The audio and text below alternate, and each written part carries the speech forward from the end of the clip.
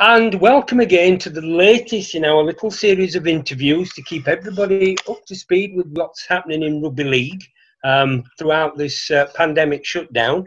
Uh, and I'm delighted to say that today's guest, who had agreed to appear live, as it were, up at uh, one of our venues for our lunch pre us having to close it down, is with us today. That's Julia Lee. Um, who I'm sure will come back and do a live version later on. But uh, thanks for giving up your time today, anyway, Julia. Oh, my pleasure for for asking. I, I need to be kept out of trouble, so this is a really good way of doing it. Excellent. Uh, yeah, I think the three of us, uh, oh, it's good for the three of us through that.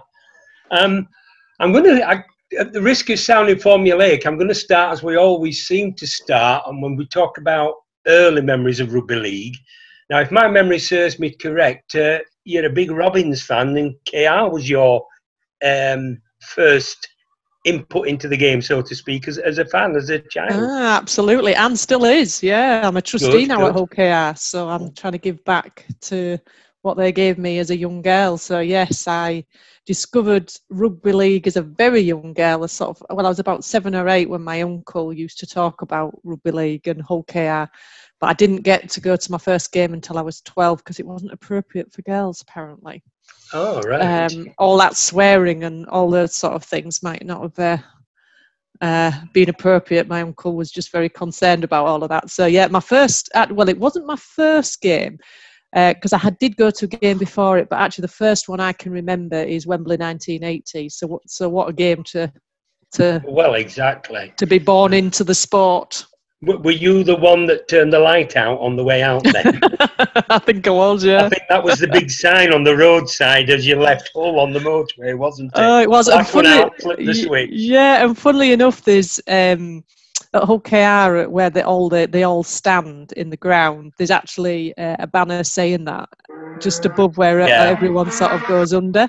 I don't know if you've noticed just it when you've been to see them, but it's lovely. Yeah, and I had a yeah. picture taken with it for my website the other day, the other week, because I just thought, you know, that just, well, it's just a lot of history for me, isn't it? Such a yeah. memory. And is there, is there a bar, or is it actually a special group of people that's actually called after the score in that final? There was a bar, but now we, have put that to bed because we thought it was about time we stopped taunting our rivals around right. it. So there was the 10-5, yes, um, of which it's been was renamed a couple of seasons ago actually. But there is a 10-5 club. I still, I would imagine they wouldn't have got rid of that. With the players actually, in, yeah. Yeah, yeah. But there's actually now the the rooms have all been renamed, um, just because um, unfortunately it still upsets the team on the other side of the city, and we we would hate to do that. And you, you and yet, if the if the shoes had been on the other foot, you don't necessarily think there might be there might not be a great deal of sympathy coming the other way. But, uh, absolutely not. Absolutely not. Well, you think of a childhood growing up, and I've often sort of discussed this because a couple of uh, last couple of last couple of years, I've been collecting memories of women in rugby league, yeah. a lot of um, about history of uh, women, particularly in Hull and supporters and things like that. So it always comes up. I've been talking to women on the black and white and red and white side, and the derbies always come up. And some of the the childhood stories are just amazing. Sorry, Malcolm. No, no, I'm just going to add to you there, but one for your one for these stories about Boulevard. So it, it, it is one for you guys to have a go at. Um, Pat was cheerleading, in, you know, back in those uh, well, six late sixties and so forth. And I think she tells a tale, my wife, of going round the stadium and asking her please and where the ladies were in Hull. He said, "What ladies in Hull?" leave, leave you with that one. yeah, thank you. I think we ought to. Oh dear, that is funny. on on that one. yeah, yeah, yeah. But I have childhood memories of you know my music teacher in my prime secondary school. So I would have been because they have three levels of school at that time when I was a kid. So you have primary, junior, and senior. So it was the nine to twelve year old of the music teacher being a black and white. And when we walked in, he he played Red Red Robin wrongly on his piano, and then obviously went into big. Uh, yeah. Big old faithful doing it all right, and us going yes, with our scarves hanging out our bags and all that sort of thing, just to tell. Oh, I don't eat bacon and all that sort of thing. So, yeah. a lot of fun, a lot of fun. Yeah, great stuff. Yeah. So, so you're there as as a as a dyed in the wool Robins fan. That's how you got introduced to the game. Um, and then as time goes on, uh, once again, uh, I've actually done a bit of research on this as well as having heard you speak before. You decide to take up refereeing because of something you saw in a program. Am I correct? Yeah, yeah, they were advertising for referees, and at that time, I, I admit to being a referee abuser uh, with very choice words. Guilty, guilty as charged. and um, after I'd had a few pale ales actually, because that was my tipple then, and as still is. And I said to him, oh, "Look, I can do better than any of these clowns." So one of my friends said, "Well, I bet you a fiver you dare apply." So that was then where it all started. So I applied, um, but I didn't actually said whether I was male or female. So I just signed it J Lee, um, and then I got a return letter saying, "Dear Mr. Lee, you're really, really very welcome."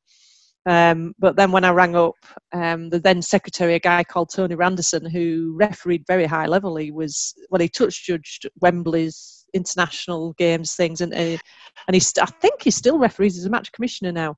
Um, then rang me and went up. Oh, but you're a girl. "Oh, I am. I am. You know. so then they had to have a few meetings before they actually let me in. So I think it was about three months before they actually decided that they'd invite me to my first meeting. And my memory of it was just so funny because it's like a bit like you know stars in your eyes, where you to, to, today um, I am going to be. Um, well, it was a bit like that. So, it, but it was smoke in those days. You could smoke in the um, clubhouses, and it was in yes, yes. a working men's club where they used to meet. Um, and I sort of, and that I swear to this day, they claim it wasn't, but I swear to this day that they all told me half an hour later than everyone else because it was packed. Um, and I walked in, and, and it was the best attendance ever at the whole referee society to see this woman rocking up. Um, and it was like through smoke. And today I'm Yes, a referee, yes, there, yes, and they're, yep. they're like, oh, here she is, here she is. Mm. Um, and I just sort of plonked myself. I mean, I was only 17 at the time, so you can imagine. I think, to be Um, honest, that's very, very brave for a, for a Yeah. seventeen-year-old girl. Albeit, if you've been if you've been to places like Craven Park, you're not going to be tissue skinned. But to still go in a room full of men who you might have the impression might be a little bit hostile before you start, I thought was very brave. Yeah, well, it was worth a fiver, though, Ian. Don't forget. Well, you fair know. enough. And of course, I, uh, I, I didn't want to sound like I'm making you out to be very, very old, but a fiver was was something to have in those days. Oh, it was something to have, yeah, yeah. And a dare's a dare, isn't it? Mm. And I didn't really, if I'm honest, I didn't know. I, I, it was in those times. I mean, those that sort of know about feminism and the different waves of it. It was sort of the second phase of feminism. So it was around. So I'd grown up with quite a few things around childhood, around well, we're equal, and I can do what boys can do. But it wasn't cool to be a feminist, particularly. It was like, oh, you one of them feminists? They used to sort of Yeah. shoot at you. But I knew when I didn't sign the letter, Miss Lee, that I was, you know, unconsciously, I knew I was, you know, going to ruffle some feathers. And it was all in that, well, you know, why can't I do it? Because they'd not let me play at school. Um, obviously, my uncle had been a bit, oh, well, girls can't. And I thought, you know, I just want to be involved in a sport that I love. So why can't I be involved in any way? And I didn't know what to expect. I mean, at those times, they didn't really train referees. You, you, you took an exam, but I didn't even do that before my first game. And it was like a 40 question and answer exam.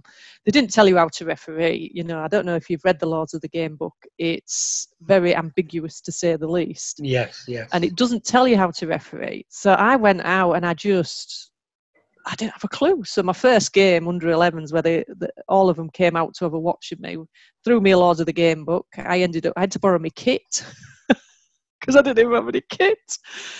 Um, and I didn't have a clue. I didn't couldn't remember what the offside sig. Even though I'd been watching it, it's totally different, isn't it, from watching it and seeing it to then Absolutely. actually uh, doing it on the pitch. The under 11s looked like giants, and not one of them was on side for the whole. Um, I think it was 20 minutes each way or something like that. The whole 40 minutes.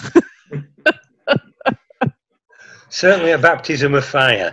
It was, but not only that. I mean, I moved to London, so I did only two games in Hull, Uh, and then I got a job in London. So I then moved to London where they only had open age. So then I moved from those two games to suddenly doing these hairy ass blokes in London. Um, and it was a mixture of then because there was no kids games in London then. No. Because that was 1988. So there was Fulham Travellers and um, Fulham Amateurs, and then there was London Colonials, which was all full of Aussies and Kiwis, and uh, so there was about I think there was 20 league. I think it was Maswala when I went there, so but it did change over to London League. So you travel to the Midlands for games from Yeah, London. yeah. Can you imagine? So you used to do two or three hours Mhm. traveling to games, and I know every time I got a fixture, it was like, oh my god, what have you done? You've got another bloody fixture. You haven't a clue what you're doing. Mm. Oh dear. So I did dread it, and I did have a big bust up. London amateurs, uh, Fulham amateurs v um, um, Fulham travellers. Uh, they just fought, and I did manage to get to the end of the game, but I I mean, I was 18 and I was just crying coming off the pitch because I didn't have a clue. But they all remind me of it. You remember when you Yeah. cried when we we had a bit of a punch up?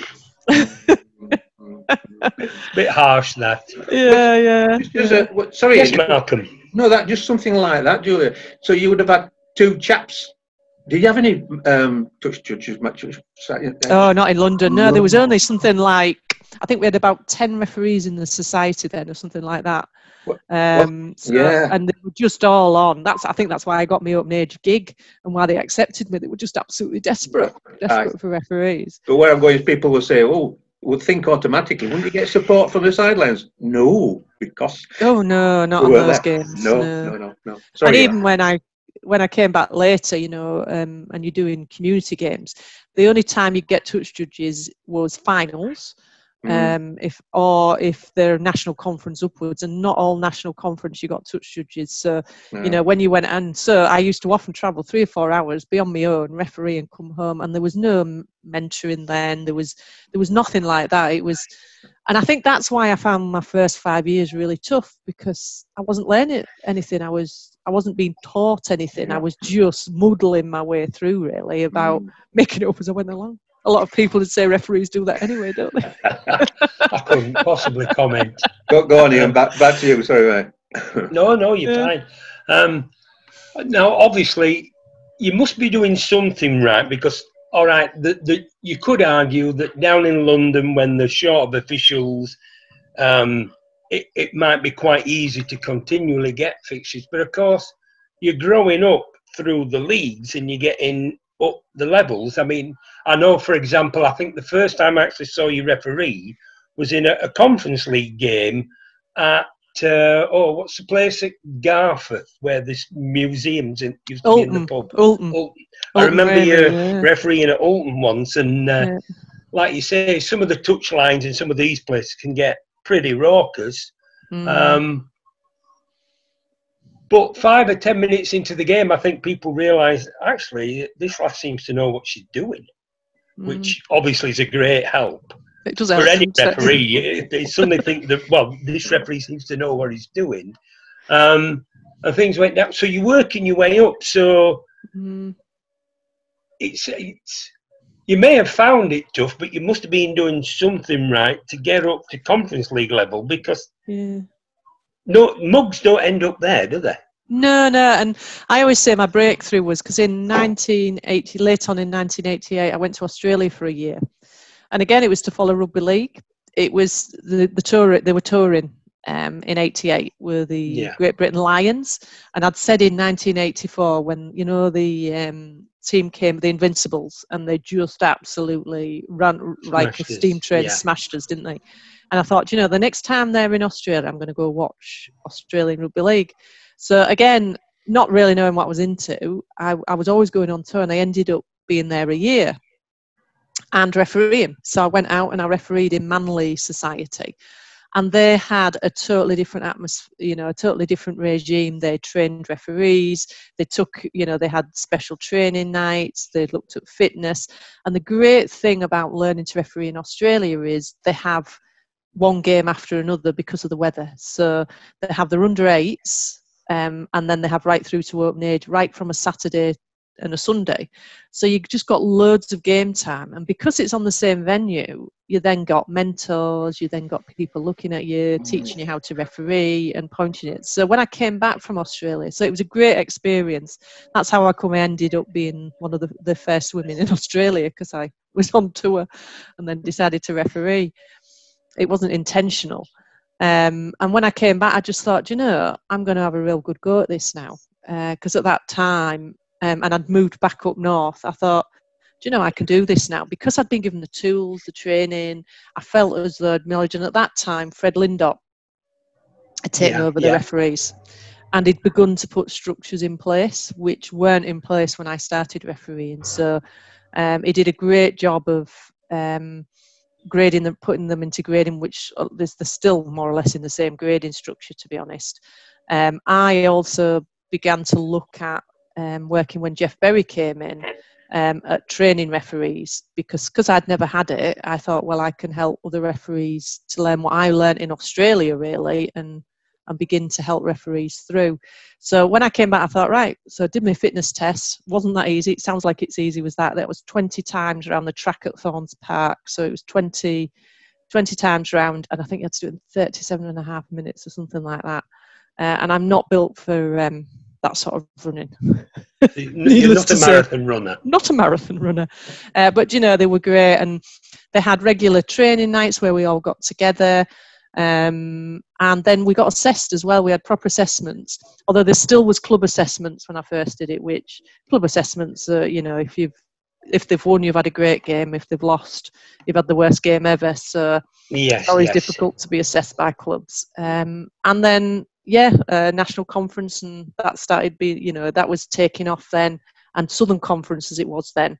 So although when I did first come back, I did Sunday League in Hull which anyone that's done Sunday anything, yes. um, whether it be football or rugby league, um, it taught me how to deal with foul play. is all I can say. Yeah. Um, mm. So I used to have an average on a Sunday of three or four players off.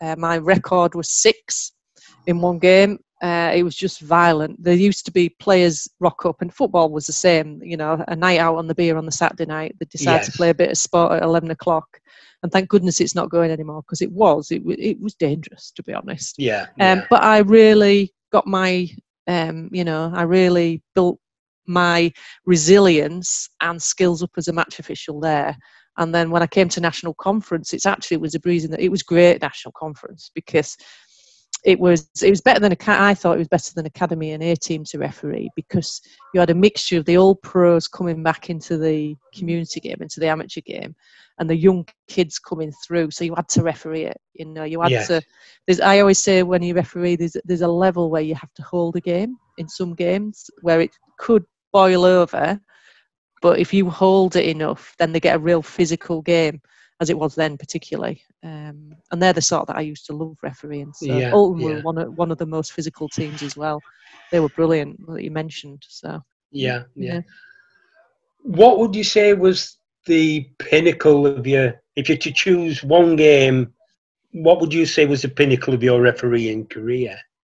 Um, there's two. I'm, I'm going to say two. I'm going to pick fair two. Enough, fair that's all right. Um, yeah. I did internationals for women's games, so I um, refereed in Australia the women's internationals, the first ever tour in 1996, of which I'm doing some work on now to get those women recognised. Yeah, yeah. Because they've never been capped. So I refereed in that tour where the women won the Ashes. So that is sort of like that was the last team to win yeah. any Ashes uh, in rugby league. Uh, and then I think the most historic was when I did Oxford v Cambridge. Um, yeah. And I got a month's worth of publicity really because it was the first time a woman had ever done it, and it was just you know it, it, it wasn't a high quality game, but it was a high level of the amount of publicity, the people that were yeah, playing, yeah, and those sort of things. Um, yeah, I mean, it's the I, first yeah. first and last time I've ever been sung on the terraces. The referee is gorgeous. Wonderful. Yeah, I mean, I used to be involved in student rugby league, uh, and, and you're absolutely right. The Oxford and Cambridge game sometimes was wasn't the best rugby going, mm. but the attention that it attracted to the to the universities and colleges game, you're hmm. absolutely right. It, it was the promotion game in the universities. Mm. Malcolm? I was going to say that that isn't that a quality of the spectator. You know, you say quality of the players, but you know, I say old chap. absolutely, absolutely. Maybe. But I think I think the biggest crowd was when I did the um, Yorkshire Women v Lancashire Women mm. in nineteen was it nineteen ninety two? Yeah, it was, and it was just the women's game. It's, it's set up in nineteen eighty five, and I'm, and again I'm just doing the whole history of this and the rugby league and the wisdom put it, it, it there used to be two prem you know the premiership games yeah, there used to be double header, double header. yeah. and the women played in between that so there was 56,000 people um, in Old Trafford and I refereed the women's game in between so that was just like an experience beyond any other experience yeah yeah oh absolutely must have been absolutely yeah. wonderful yeah um and moving on now from from you know we've had the highlights of your playing game and where you you know where you started and worked your way through. Post the playing career or, or was it still while you were refereeing that the development work came along? Well it happened that it just it, it finished my refereeing. I got very badly injured. A player ran into me in, from the southern conference game. Um, so i started working in leeds. So i was the lead service area coordinator in 19, 1998 um, I got the job. Uh, Gary Hetherington had wisely, as he often does in development, had realised the value of development officers um, and half funded one for Hunslet um, uh, based with the council. Um, and my refereeing, I'd got injured in 1998. I tried to keep on refereeing, but, but by 2000 I had to I had to give up because I couldn't, yeah. I couldn't no longer referee. But as it was, you know, it consumed me. Did the job? I mean, I just absolutely loved the development. It was just like your hobby as a job. Yeah. And in those yeah. days, development officers did everything. So I did from you know coaching in schools to working with high performance kids to running coaching courses, match official courses, setting up girls teams, you know, you, you name it, you did it as a development officer then. And it gave me really great knowledge to then help me progress me through my career. Um, because I knew a bit about everything, I, you know, yeah. in, in the development um, arm, and I just absolutely loved it. It was exhausting uh, being one of those, officer, uh, as Malcolm knows. yes, yes, I was going to say, I believe Malcolm, you weren't you the similar role for Calderdale at the time? Yes, that's right. If you remember, Joey, I, I was, yeah, it, it was one role, but um, if I just try to think of the director, the CEO at Halifax at the time, um, but I couldn't do the rugby league side, the performance delivering of that, and uh, Martin Gonzalez was asked to do with that, and said, "Would would you do the sort of you know developing of the of the of the other stuff, and we sort of we dual rolled it. And I remember just mm-hmm. travelling off to my normal job over the Pennines when I think Andy Ireland rang me and said, "I need to meet you. You guys need to meet up because you just you know you want to meet me, etc., etc." So I yes, and, and, that's where that started. And it was a yeah, yeah. Was, was it Andy Harland who put that to, together. I can't remember too much. Of. Yeah, yeah. Well, I, I quite quickly went to, I became the Northwest Regional Manager and then I was in that and then became the Yorkshire Manager. And that's, I think, when we formally met, really. So that would have sort of been early. Um, early 2000s, I think, Mal, because we were beginning to really develop the service areas then, yeah. weren't we? Because yeah, Andy was Yorkshire manager originally, so I imagine he, he did introduce us. Mm. Um, but it, you know the service area structure it was just an awesome structure unfortunately people lost the way a bit making it a performance structure because it was never meant to just be performance um, and i do believe that i think the rfl are thinking of putting something similar in now you know we should right. never have it was just you know it really brought the game on le- leaps and bounds. Yeah, I, I sorry, we, one of our meetings up at Thromoli, and I was talking. I invited Gary, um, sorry, um, Graham Garrett Ah, right, lovely. Yeah, yeah, with one of his, his, his players playing friends, and of course, we alluded to this, and we, we, we, pointed out to the audience, didn't we, and how many Super League players just from Calderdale, you know, yeah. which was the smallest local authority area. Yeah, they're there at a very top level now, isn't it? You know, um, so oh, right. it was brilliant. It was brilliant, and it was just a really good way of um, players knowing a really having a really clear path and, and equality i thought because everybody yeah, could yeah. have a go at it um, you know everyone could come along for the trials and from a service you know the, the performance side of things And I then ran sort of part of my career when I became a Yorkshire manager, Northwest Yorkshire manager, and eventually the national manager, ran all the performance camps around the country. Mm. And so now some of my babies, like James Graham and the Burgesses, they were sort of 12, 13 coming through. Right. Um, you know, saw some real talented players come through that system. And I'm not saying that it was perfect, but I just thought it was a re- it was one that was open for all uh, mm. from a boys' perspective because uh, mm. there wasn't anything particularly for girls. Um, and I just thought it was a really good way. Um, I remember um, Luke, oh, who plays for Rhinos now, just gone from Castleford. Luke Gale. Gale. Yeah. He didn't get in the service area team in Leeds when he was 12, 13. Yeah, yeah, yeah, yeah. I always remember that because they were really undecided. Mm. Um, it, it, it's interesting actually because whilst the people who are on the website listening in don't have the, the, benefit of the visuals that we have, when you were talking about James Graham and the Burgess boys coming through, you could see the pride in your in your face that this mm. was something that you'd helped set up and run, and look what we've produced.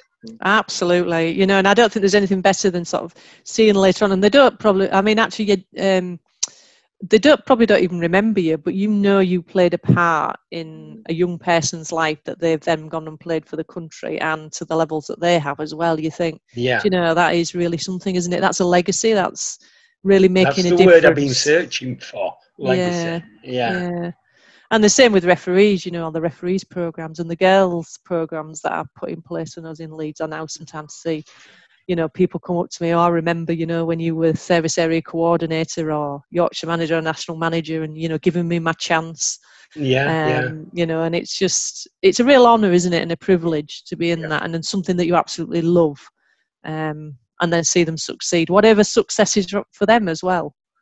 But um, that, that, that, you see, I, I, I taught for 35 years, so that's the sort of thing that I hark back on.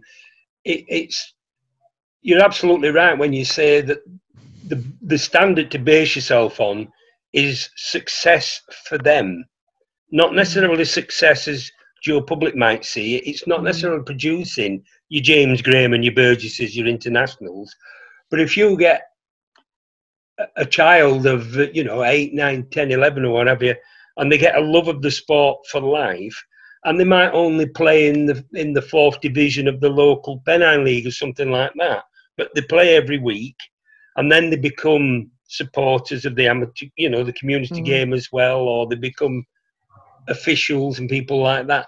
And it's, I love the expression that you came out with when you said success for them, which could yeah. be very high, or it yeah. could just be at a lowest level, but to them is a mm. huge amount.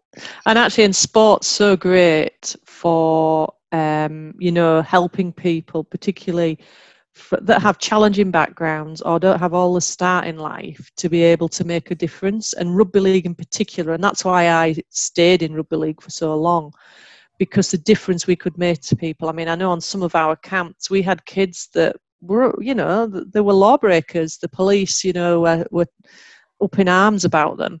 Um, but on the camps we had them on you wouldn't have known you know, because no, no. rugby league gave them their purpose. And I do a lot of work with young people and women now, and I call it What Makes You Tick, because I knew that rugby league made me tick, and goodness knows where I would have been. And I've seen so many young people that through rugby league sport and, and the arts actually played something. In, but my, obviously, my everything I've done is ever ever been with rugby league is that it makes such a difference and can change someone's life. Mm. Um, that it you know it's it's just critical. Mm. Yes, Malcolm. I, well, I, I, can endorse that, and clearly I'm not going to mention any names. But um, when we were doing the Calderdale service area stuff, and my wife joined us, you know, in the background, came, we came home and, and, and she mentioned it that one mother um, on her own with with with with the guys this young guy is now a Super League player and hardly got any. Hadn't brass, you know, so everybody had to pay, pay their way. But quite honestly, you know, yeah, but pay installments, do so and so, do that, and you make it for behind the scenes. You work for them, don't you? Mm. Yeah, mm-hmm. absolutely. Uh, and the amount of yeah, absolutely. And it, and, and it, and it comes back in, in, in, a positive way, you know. And that's so what you've just been saying mm. there is right, you know.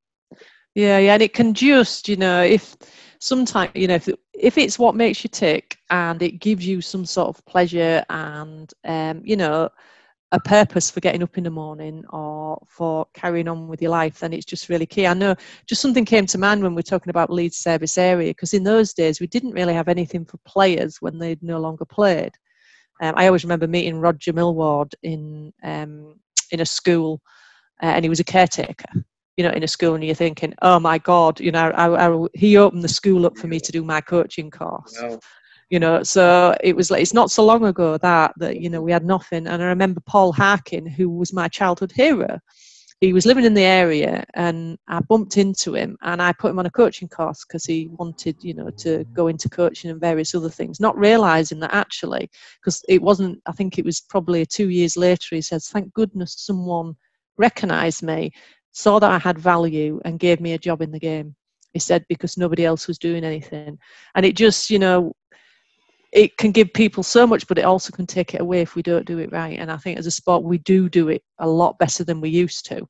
Um, but the value of those players that they can have in communities to change people's lives is just so important. It's immense. It's immense. Mm. Um, and in this development role, I mean, you end up being sort of, as you said, the, the manager, the national manager, and what have you. Um, and were instrumental in getting an enormous amount of money from Sport England. I know, I know. 28, uh, 29 million, I think it was, or something like that, wasn't it? I mean, the numbers are just, they're just mind boggling. Oh, uh, absolutely. yeah, and it was a great team. So um, at the time, when I first joined the RFL in 2000, it was that Rugby League World Cup that was an absolute nightmare. Um, and we had two years of bit of being a bit unsettled. But then Sport England, uh, that was the time when National Lottery was beginning and performance yeah. programs and and my boss at the time was a guy called Gary Tasker who was involved in in that time at Odsal. Um, and all the bullmania and all those sort yeah, of things. Yeah. And he came to the RFL and he had such vision. He was a lot of my leadership skills and things that I delivered later on were down to his leadership skills. And he saw my talent and embraced what I could do um, around getting funding, around engaging with people, my knowledge for the sport, and, and my passion for development. Um, and allowed me to lead the bid. It really, it should have been his job, to be honest. But he just saw that that's, you know, he, he was a very humble man, very yeah. humble man. I'm not saying that he didn't want to work either, mm. um, but we also had a really good team of people. So uh, there was Neil Wood, Kelly Barrett, who's still at the RFL. She's been she mm. was with BARLA from being 16. Yeah. Um, and a guy called Adam Jude and Andy Harland. And you know we had nothing really up until they came up, and then we built it. Richard Lewis was there at the time, so he was oiling a lot in London. Yeah, uh, yeah. A lot of um, making sure rugby league was in it in the top five then because it wasn't because I always swear that if at that time we'd really embraced it, we would have been well ahead of rugby union, and unfortunately we didn't. Um, and we got this 29 million, which was to develop the sport. So we then had 140 staff around the country. I mean, you were very involved with that, Malcolm, weren't you? And everything that we we did for development, because my the intention of the plan was everybody everywhere had an opportunity to play rugby league. So right, sort of from the deepest, darkest south to um, right in the northeast, and we had a team of development officers uh, and coaches just spreading uh, what rugby league was about. And at that time, actually, we we had a whole development plan for girls that never came into fruition, which were I, I get a bit frustrated, which is one of the reasons I left. Um, that you know, in 2008 we had the vision, and it's only now that that's being realised, really. But you know, things happen at, at a time for the right reason. It probably wasn't right then, but it is now. But yeah, our vision was to do what they're doing now um, mm. in the women's game, part that that money. But yeah, very exciting times. And of course, um, being the lead in the 2013 World Cup as well. Yeah, the Festival of World Cups. Yeah, yeah, yeah, I was the director of the Festival of World Cups, which again I'm so proud of because um, leading up to it, it what I wasn't popular. Is is leaders to say only because there wasn't any money. And I kept saying, well, I want to run this Festival Cup. Where are you going to get the money from? We haven't got any money. We've got a, a men's World Cup to run, which is priority. Um, so I was on zero budget because then the International Federation didn't. But I was so passionate. My passion for everybody everywhere wanting to play the sport. So to the highest level. So the women, you know, it's the highest level they can achieve in the sport, playing for their yeah. country, as it is with wheelchair. Um, and then the police, uh, the UK Armed Forces, and the students again have always been part and parcel of my development arm of rugby league, and I wanted to have them to all have their time, you know, in in the sunlight, bathing in it. Um, but all at once within a two two and a half week period, three week period. So on very little money, um, and I still don't know to this day how I did it. Ray Tennant likes to say that he played a big part. He did actually help me try and get some money. Um, we pulled off um, 76 games um, with 26 countries uh, over a two and a half week period. And I and it's brilliant because that to me was the bedrock of where we are now with the Rugby League World Cup.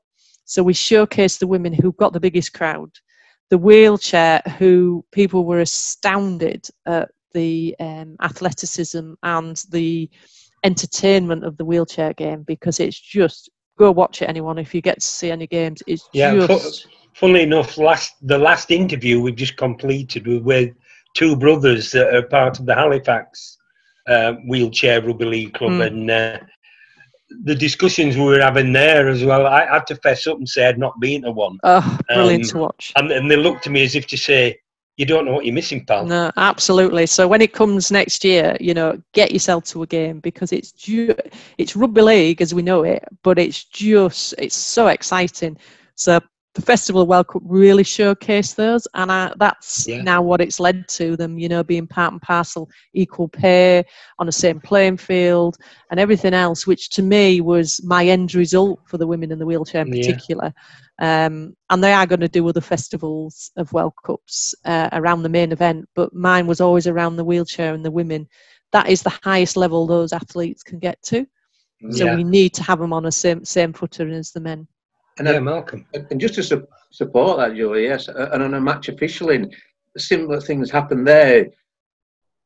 Uh, women, uh, sorry, male or female, who have had to step back from the running game because it's you know 100, 100 meters uh, running, you know, 80 minutes. Um, they, have been able to, two or three have been able to join that system as well because they've got the match officialing background.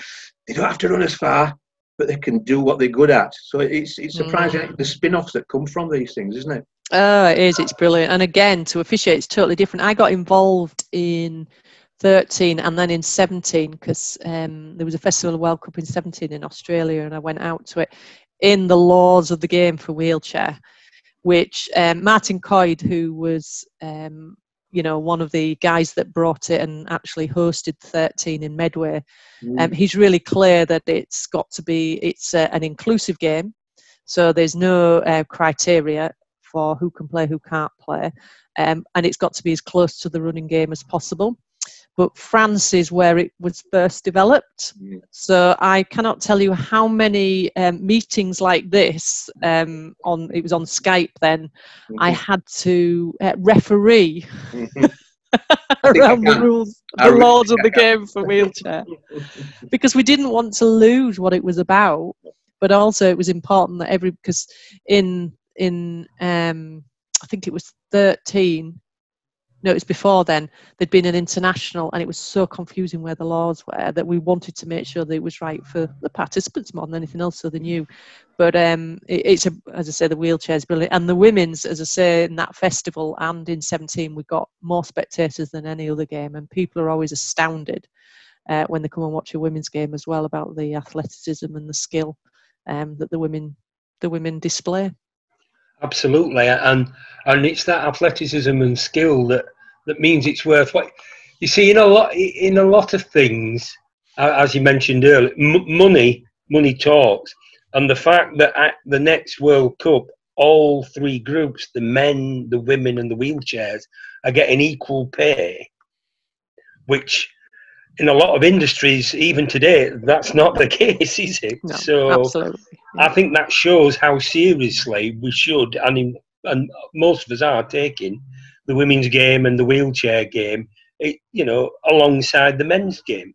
Mm, and I can't speak highly enough for Jon Dutton, uh, the CEO of the Rugby League World Cup, and how he's built the team and the values around the World Cups. It's yeah. no easy feat to put two World Cups, which um, weren't seen on an equal footing to begin to put that truly put them on an equal footing you know because people say a lot oh we'll run them at the same time. But actually to demonstrate that in so many different ways you know is it, it, you know I, i've got such admira- admiration admiration for him and i just hope that then wherever the next world cup goes that they do something very i'm on the i chair the women and girls international steering group um, and you know we talk a lot around that when a competition comes up, let's not just tag the women in the wheelchair on.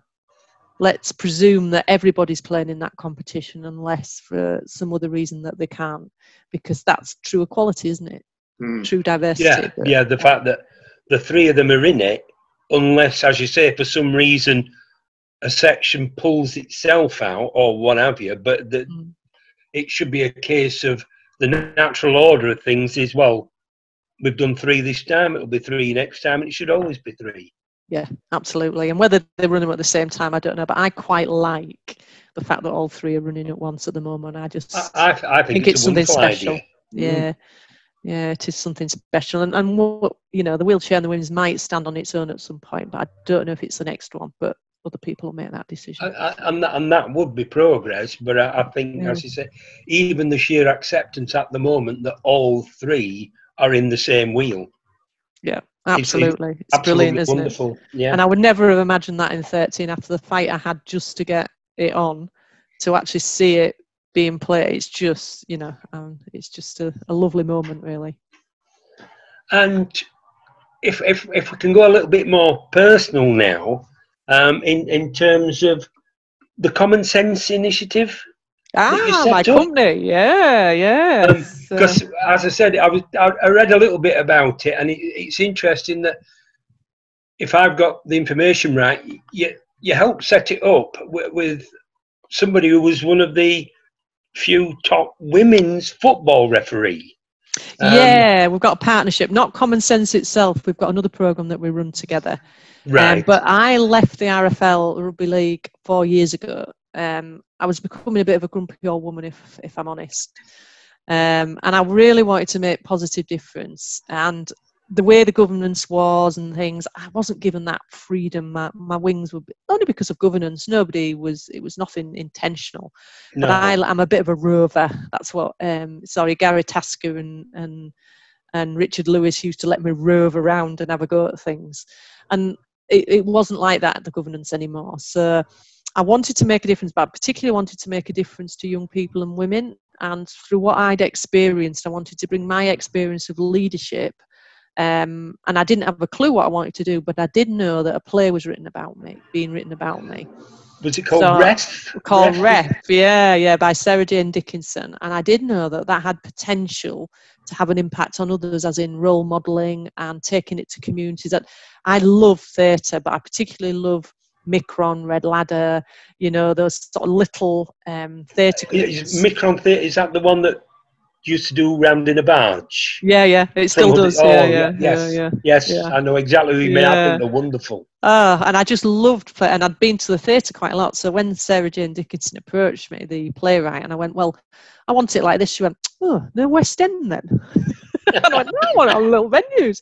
And I wanted it to take it to communities that didn't go to the theatre. So this is why I know where the arts and sport can work so well together around reaching people that um, you know this sort of thing wouldn't reach people without having this my story sort of yeah, as, as the yeah. center of it being able to inspire others so i knew i sort of had that in the background and i hadn't a clue what i was going to do so i've reinvented myself um, I knew I wanted to make positive difference to young people and women, so I'm now what's called NLP practitioner, master practitioner, which is neuro, linguistic programming, and a hypnotherapist.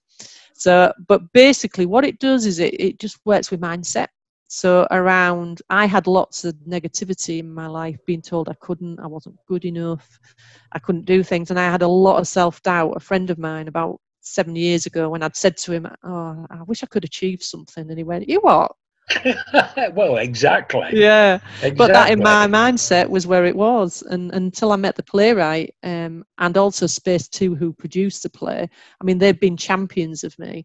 I didn't believe I'd really achieved anything, So my work's all around helping young people and women to give them the resilience and the strength, but also the belief that they can achieve whatever they want whenever they want to, and also if they have achieved, to make sure they celebrate that achievement because I never spent yes. much time yes. patting myself on the back, if I'm honest. I was so busy looking for what next and oh God, what can I do? Um, so I do a lot around mindset, confidence, self esteem. Um, I work with men and women, but I've got a leadership program, energetic and, and in, in uh, leadership that I'm developing now, and that's very much around mindset not particularly the core skills of leadership, but about mindset as a leader and setting really high level intentions so you can achieve. Because that's what I kept doing, but I never knew I was doing it. So yeah, yeah, well, um, yes. it's lovely to be able to do it, and we take the play. Hopefully, touch wood. Uh, Ref will be touring next year. We've obviously with all this that's been going on, the grants have yeah. been frozen, but we had a big 30 um, day tour 30 venue tour last year, right around for next year planned for around the UK.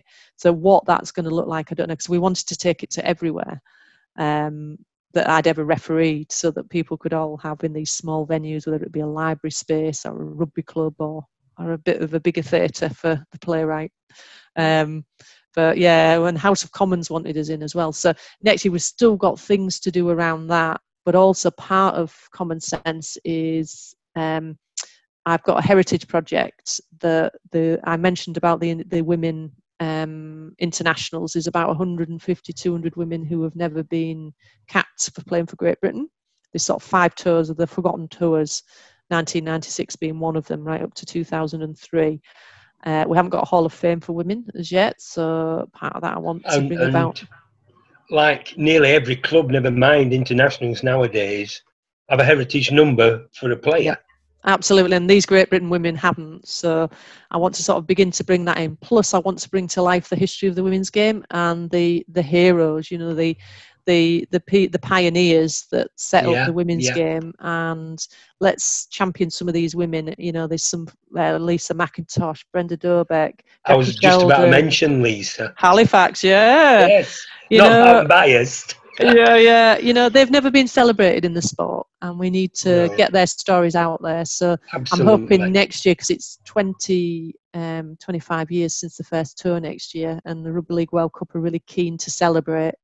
Um, one, the international, but also women in sport, so rugby women in rugby league. So hopefully if everything settles down, I'll be able to get some grants and sort of from January we can yeah. launch all that, which is really exciting. So I feel as though I've done a full circle of not being able to play as a kid and to referee to now going on to all the heritage bit, which is just so exciting for me because, you know, talking to the women who feel they've been forgotten when you start getting them in a room and talking about the memories. I mean, everything was self-funded, so that tour Nikki Carter, the team manager, talks about she had 10 weeks to put the tour on to Australia and she had everything in cash because she couldn't have a bank account. So she basically had a briefcase with something like 40 grand in, carrying it around Australia. I